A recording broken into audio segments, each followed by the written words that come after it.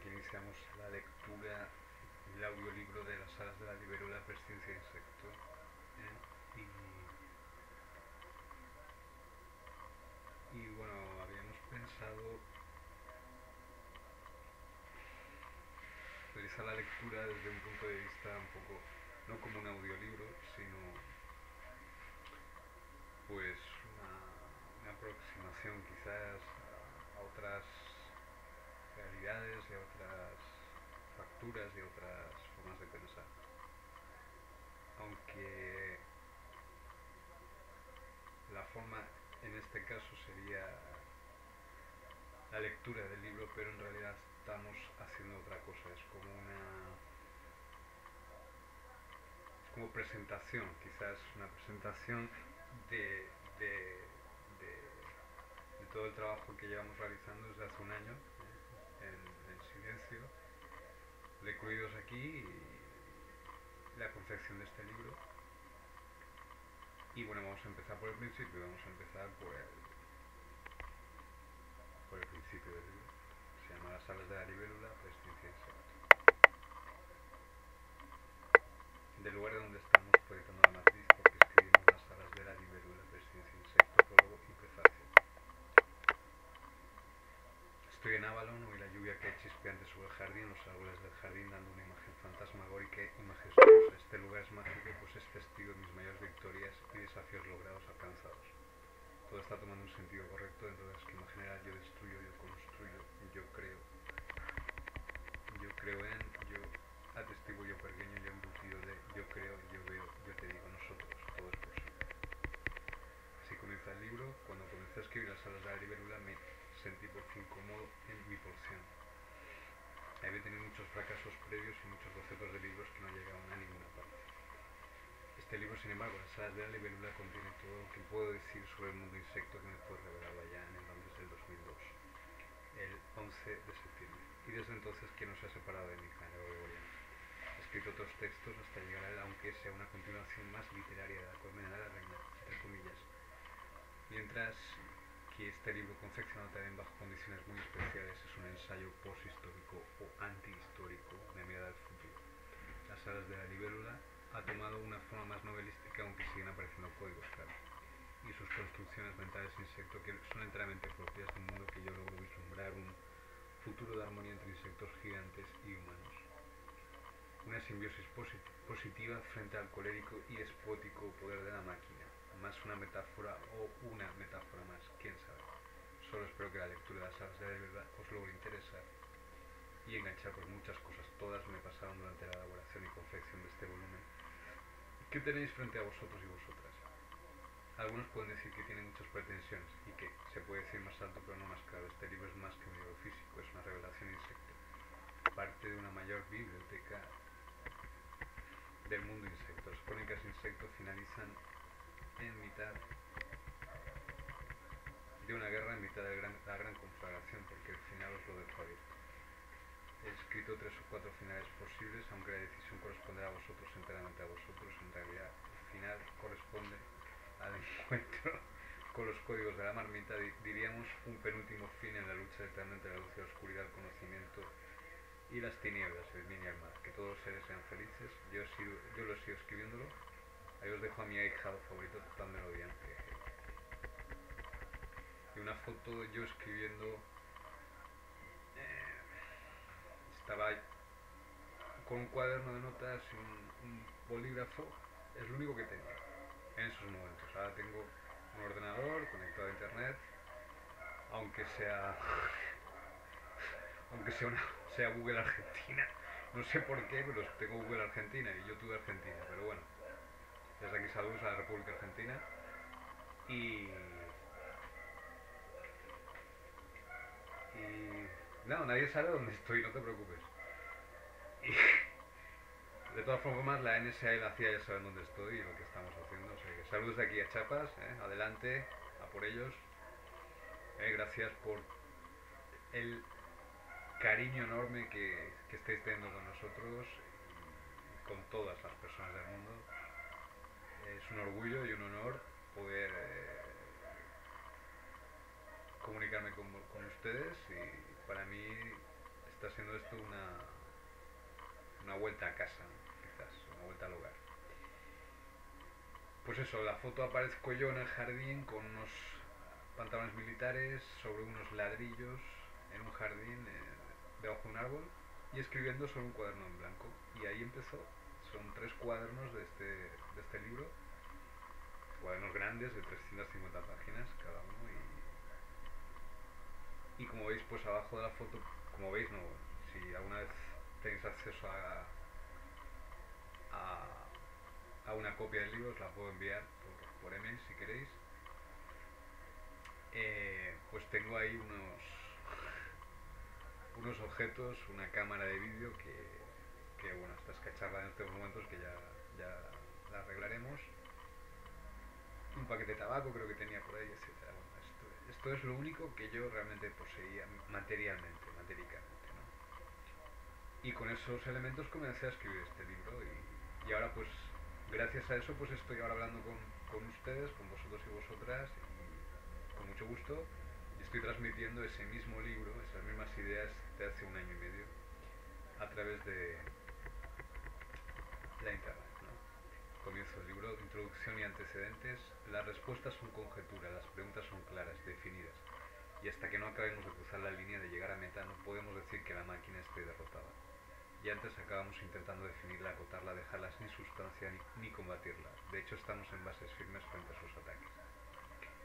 Hay algo que se debe decir antes de proseguir con la narración de Presidencia Insecto, las alas de Agribela, y es que no se trata solamente de un texto profético, entre comillas, sino que es un auténtico despliegue de preguntas sobre la naturaleza real de la máquina, de ese conglomerado que existe mucho antes de... Disculpa, se me olvida conectar el micrófono, pero bueno, creo que me estáis escuchando, a ver ahora. Mejor. Eso sino que es un auténtico despliegue de preguntas sobre la naturaleza real de la máquina, de ese conglomerado que existe mucho antes que la máquina física, que podía ser ordenador central del planeta, sino que ha existido desde hace millones de años, como una fuerza mimética, imitativa, asimiladora, eh, paradójicamente similar a la realidad, pero que se alimenta de ella. Es una fuerza imitativa, asimiladora, fundamentalmente no creadora, y es ahí donde empieza mi narración. Y antes, en la colmena de la reina, experimenté apenas dejó un bosquejo sobre la auténtica naturaleza de la máquina y su enemiga más poderosa, la matriz insecto, la formidable maquinaria de guerra insecto, diríamos más, pero en aquel momento no tuve tiempo ni tampoco espacio para desplegar todos los códigos, que se requería de un tiempo, un lugar y una adecuación para ser escrita. Pero debemos ser sintéticos en esta ocasión con este libro. Este es el momento, este es el lugar preciso, este es el libro fundamental de las crónicas insecto o crónicas insecto que señala como toda crónica hace un antes y un después, un algo cronológico, pues se trata de narrar, de historiar, historiar sobre lo que nos han contado. Eh, la auténtica historia de las cosas que nos han pasado y nos siguen pasando, de por qué siguen pasando y de por qué pasaron. O como el tiempo del presente podemos hablar y elucidar siquiera para los estudiosos del futuro acerca de lo que estamos escribiendo. Esta máquina mimética, salvaje, drenadora de energía, asimiladora y con tendencias destructivas de todo lo que no sea ella misma, pretende llegar, colocarse en el puesto de Dios en la naturaleza, pues ella es antinaturaleza y no nos referimos solo a la dimensión biológica, ni estoy hablando de filosofía, es un auténtico tratado sobre la real existencia y naturaleza de esta fuerza, energía y ente, y como Dios colocó sus piezas y sigue colocándolas como versos, frases de una poesía que está por construir. Desde el principio de los tiempos algo sucedió que llevó a la diosa armonía al caos. Ibn Arabi lo llamó en su cosmología de este modo, José Argüelles lo denominó el Big Rang, el 47713. Pero yo lo denomino la gran disarmonía inicial, GDI, que todavía no hemos sido capaces de hacer retornar a su condición armónica, o sí hemos sido capaces de. Hemos logrado revertir el proceso, el 21 de diciembre del 2012 es la fecha clave de toda la historia humana, lo hemos logrado Hemos introducido por fin la llave en el lugar oportuno, en el momento preciso, algo dice que sí. Y es por ello que de lo que se trata ahora es de solo brigar, lidiar con réplicas, con espejismos de sí misma que han quedado latentes en la memoria del cosmos. Pero la parte fundamental de la máquina fue destruida el 21 de diciembre del 2012, calendario gregoriano. Ahora sus hijos enconzoñados intentan buscar a su madre y al no encontrarlas se desorejan, se vuelven locos, pues han sido destruidos del comando base de su drenadora, claro. si ya no puedes drenarte de tus víctimas, lo único que es drenarte a ti mismo o misma o a los demás. Estamos asistiendo a un doble proceso. Por un lado, la emergencia insecto, la rápida y progresiva emancipación y desarrollo de todas las tecnologías, sociedades, formas culturales y demás que formarán todo insecto de los próximos milenios y por otro lado la desaparición, la podredumbre, el deterioro de la máquina incluso de sus hijos malditos, los cuales ya físicamente no pueden seguir usando sus fuentes de energía imitativas están siendo localizados, y por lo tanto eliminados y o asimilados por la matriz insecto. No olvidéis nunca estas palabras que acabamos de decir, no son sagradas porque no existen ya las religiones, ni son científicas porque su desarrollo corresponde a un análisis, a un análisis histórico, por lo menos histórico es un término riguroso. Pero sí podemos decir que hemos asistido, o mejor dicho, estamos asistiendo a la construcción del Palacio Insecto del edificio tecnológico insecto a la par que hemos dado el golpe de gracia a la máquina, aunque siga molestando con réplicas, son solo ecos en su propia caída. Descansa en paz la máquina, esta nueva edad insecto NEI, adocenada por miles de cerebros en red, red telemática, de matriz, que no de internet, precisaba de una metáfora adecuada y eliminando al máximo la toxicidad del primer tomo de las crónicas insecto, pues me encontraba en plena batalla con ella en aquellos momentos. Este tomo es particular, en particular no deja de ser épico, si cabe más por las batallas y la guerra que está por venir aún no se ha producido. Hay un puesto para cada cosa, un lugar para cada pensamiento, un momento para cada persona de poder realizar el milagro, de ir más allá de lo conocido. Eh, hasta ahora, no son respuestas glandulares realizadas por hormonas simplemente, sino que son palabras llave, palabras clave en el universo mental de las narraciones. No puedo dejar pasar un momento para agradecer a todos los seres de luz, nuestros ascendidos del cosmos, de todos los tiempos. Eh, ya que no habría podido haber escrito ni una sola palabra de este libro sin ellos, sin Buda, el primero más importante, el iniciador sin Argüelles, sin Dinarabi, sin Schopenhauer, sin Sir Winston Churchill, con una aproximada idea primordial primigenia del universo insectil, la verdad es que lo vi claro. Y cómo ese universo que yo humildemente he abierto sus puertas para ser conocido me fue dado.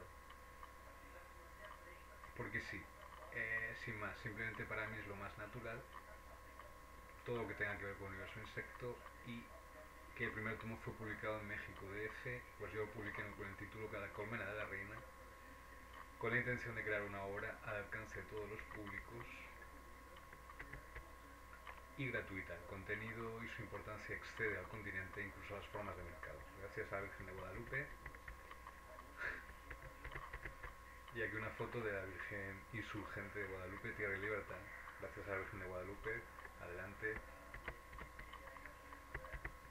Vamos a cambiar de asunto, a cambiar de tercio, un tercio. Este no es un libro de consulta, no es un libro cualquiera, no es un oráculo, no es la cábala, no es un libro de autoayuda, es un libro sobre la dimensión desconocida y forma parte de un agregado mayor, las crónicas insecto.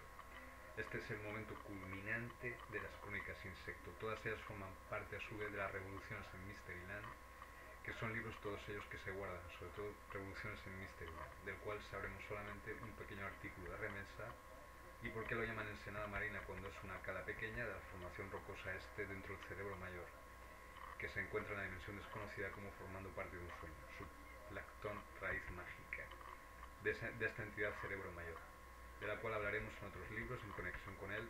Hacemos este inicio de las salas de la libélula presidencia insecto. El primer libro se llama La colmena de la reina y ahora, previa introducción y prólogo, por la dimensión desconocida estamos en las salas de la libélula, con todas las anotaciones extraordinarias acotadas en este prólogo menú, consuetudinario con los libros e informaciones anteriores ya desarrolladas en otros libros y autores. Disfrútenlo bueno, para el que crea un poco en que existen otras formas de pensamiento, esas formas de pensamiento, según este libro, pues crecen como formas vivas, como geología, o como formas biológicas de pensamiento. De ahí que haya sido necesario este prólogo que habéis escuchado en estos momentos. ¿eh? Y nada, eh, gracias a todos y a todas por escuchar The Resistance Goes